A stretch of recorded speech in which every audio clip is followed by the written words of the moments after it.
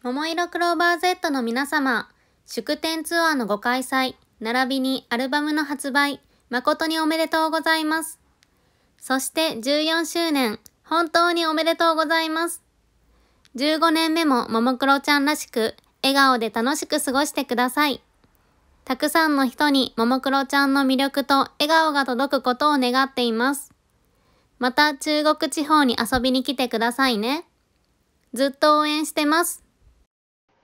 桃色クローバー Z の皆さん、祝典アルバム発売、祝典ツアー開催、そして結成14周年、本当におめでとうございます。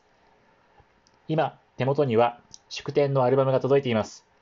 今日の津山でのライブ開催に向けて、たくさん聞き込んでいきたいと思います。これからも可愛く、元気で、美しく、最高で最強のももクロ4人を応援しています。今度、徳島には遊びに来てください。